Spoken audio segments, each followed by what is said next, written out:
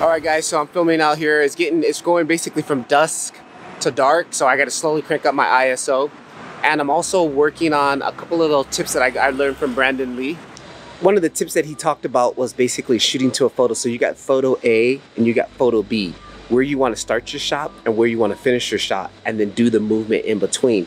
I thought that was a great tip, so I've been out here actually trying it. It makes it, it makes it my shots a little bit more interesting or more of a story than just kind of randomly searching around. So I look for what I would take a photo of on my first shot and then what my second photo would be. And then I just do a move, I'll ease into the move and then ease out into the move. So that's what I'm working on.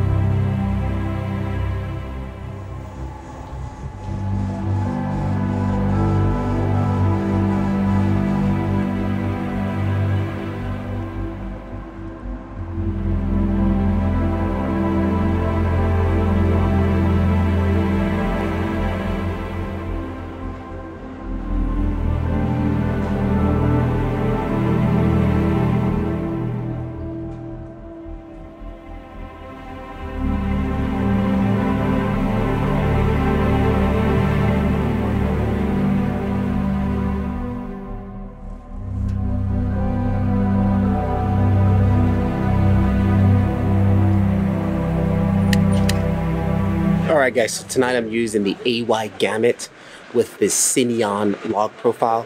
I normally don't use the Cineon log profile, so we'll see what kind of grade we can push out of it tonight on that. So I also am using the Moondog's anamorphic tonight. Moondog is just my favorite anamorphic lens. Doesn't flare too hard, but it just looks so cinematic. I'm using my Usky Vision light, which works out nice, so I can do shots like this and it's completely dark around me. So it works out good. I got the link down in the description if you guys are interested in that. It's a kit that comes with the, the actual tripod that I'm using. It's a flexi arm tripod, which I'm using at the moment. I'm using the I'm using their whole setup. Uh, the only thing I'm not using is the microphone. And uh, of course I got my anamorphic lens on here.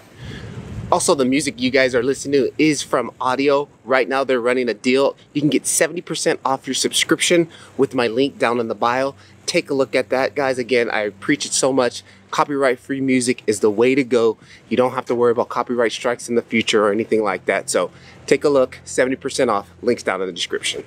All right, for those of you who stayed around to the end here, I got a little treat for you. I'm to quickly show you how I graded this. Again, this was a new process because I was using the Cineon log, uh, log profile. So it was a little, I tried something different here. Again, I was watching my boy Kazi and he had a cool little uh, video that I checked out and I want to try this technique on here and it's a lot more contrasty than normally that I get out of my footage. Normally my footage always tends to be a little bit uh, on the, the less contrastier side, but this way I've noticed it was a lot more contrastier. So let me quickly show you what I did here. We went in and I added three nodes here, Alt S, S, all right. In the middle one here, what I do is I add in, um, Again, why is my effect window not popping up? I don't know if this thing is glitching out, but this happened to me last night. So there it is. See, it works and when I'm in dual mode. I understand that.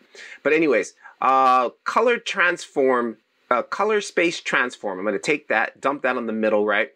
And these are the settings that I kind of used in this case because I did use, again, a gamut in DaVinci Resolve with a Cineon log profile. A gamut is basically the Alexa version of the gamut here inside of MC Pro. So I'm going to go ahead and select ARRI Alexa, input gamut. I'm going to also select ARRI log C, even though I use something different, but we'll see what.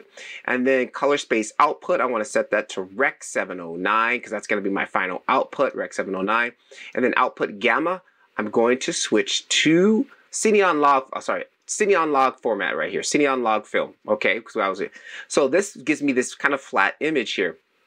So then what I normally do, I don't normally do, but in this case, I wanted to have that little bit of filmic look. So I took one of the DaVinci Resolve film profiles. Um, let me go back here and bring this back to a single screen for you so you guys can see this one I'm going to use. I went to LUTs, I went to DaVinci Resolve, I went to Film LUTs, or Film Looks. This comes stock with DaVinci Resolve. And then I chose Rec 709 Kodak 2383D60. I chose that one. Boom. Now that kind of gives me uh, that filmic correction, right? And the, the profile that I'm using. So we got this image here, and right off the back, you can see there's a lot of cyan or a crayon in there, like that, that blue aqua color. So what I immediately do, something again, uh, this is all the technique I learned from Makazi, so check out his YouTube page if you guys are interested. Um, I went to filter lights, I went to printer light highlights, I went to full lights, and then these are the colors here. And you can see here we have crayon, which I'm going to use on my notepad, my number pad, I'm going to use to minus. So crayon is minus on the number pad. And I do want to minus the crayon because we can clearly see that there's too much crayon. And so I'm to go ahead and minus once, twice, maybe three times. Then I'm going to add a little bit of red because red's on the opposite side of crayon, right? And I'm looking at like that there, then I'm to quickly grab my white dabbler and just kind of white balance this here. Boom, that should be white. Okay, now there's a little too much red, so I'm going to go ahead and hit number four to minus that red, right? Okay, so that's kind of looking what I'm looking at here. Let's see if I can uh, vector scope. Again, I'm there we go. Okay, you can still see there's a little bit of crayon in that, that aqua blue again. So maybe one more minus. Okay, I'm to leave it there. That looks good. Now, let's kind of scroll through here and then see what's looking there. This is looking close to what I, I shot in real life, even though to me it still looks a little bit bluey. But again, that film LUT, that film uh, LUT that we put on also has a little bit of that blue in there. So um, I'm to go ahead and leave that where it's at. Then I went into my curves. Normally I always use my gain and, and gamma and stuff, but this time he used a curve, so I tried it out too. And again, what I'm going to do here is just add a point here. I'm going to add a point here in the middle. And then I'm going to add another point here. So you can see what's happening, right? This is kind of like my lows a little bit. I'm going to go there and then I'm going to actually bring this back down a little bit and bring this down. Actually, I'm going to go ahead and leave that up and then I'm just going to put some in between here to kind of to fill this out. And then let's even put one here. Don't want it to be too contrasty. Maybe something like that. I may even put one in here, just kind of split the difference there. See, we're making subtle, minute differences here. This guy, let's just bring him up a little bit. No, I think I like where I had it. Okay, so quickly. Oh, you know what? I made a mistake. I actually made a mistake. Let me reset that. And that white balance, let me reset that. After you add the LUT onto this one, we need to go back to the beginning before the color transfer and do it here. I made a mistake. That, that, that was exactly what he said. Most of the rookies do this. They will basically put on the color transform, drop the LUT on and start grading. He said go before the color transform and before the LUT and start grading. So now I'm gonna go to the first LUT here, the first node, and turn it back on, control D, and now here we'll go ahead and start doing that again, which I was doing. And and the reason why he does that is because you don't lose like look at the look how much more room I get to move before it really gets blown out, right? It's a big difference, right? It's it's, it's a big difference. So I'm gonna go and I want to get that little bit more dark contrast look that we had going before. Pull some of these guys down here, undo that one.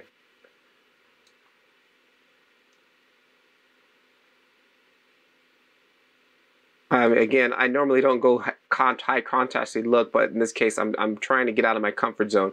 So again, we got to correct those colors. Uh, so make sure I'm on that node, right? We need to remove some of that. Let me go ahead and white balance it first really quickly. White balance, this should be white. Right, now there's a little bit of too much red. I'm gonna hit minus four. And then next, I'm gonna hit minus because there's still that crayon is in there a little bit. I don't like that. And one more minus there. This back wall is is is like a cream color, so that is not true white, but my desk is supposed to be white. So I'm gonna minus one of those reds out again. And opposite on red, Let's bring up, what's the opposite of red, which would be kind of that pink magenta. And let me see where that was at. Magenta would be two, notepad two and zero. So two to add. I'm to add in two. Just one hit of that magenta. There we go. Eh. Actually, one and two. Let me actually. Oh, no, no, no, no, no. Undo that. Yeah, that was, uh, I don't like that.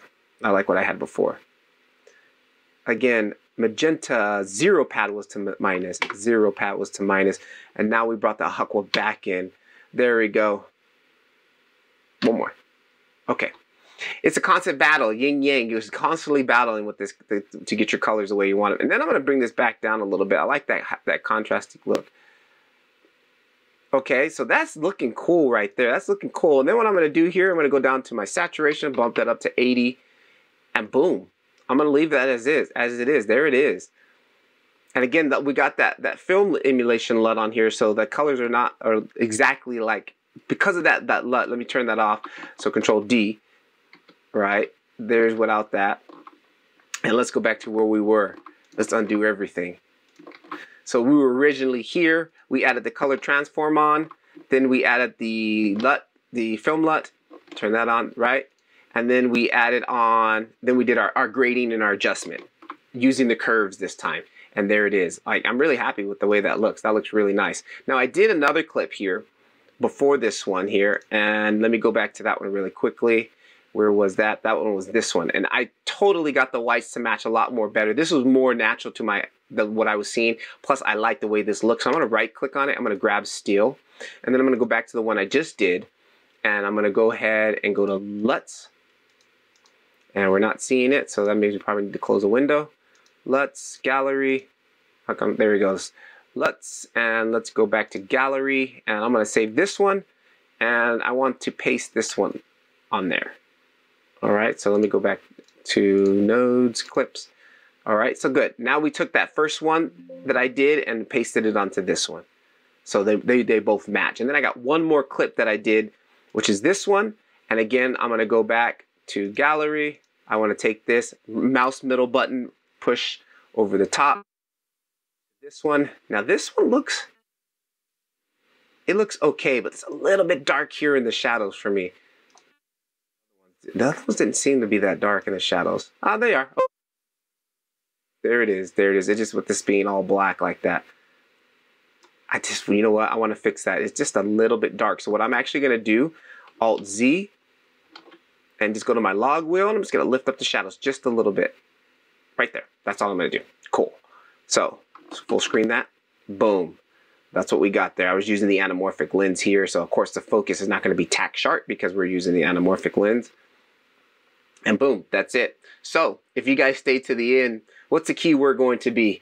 Again, let's do I love anamorphic so I know that you guys stay to the end. Thanks guys for the support. Again, take a look. I got Audiio 70% off. Grab that discount. That is a fantastic discount.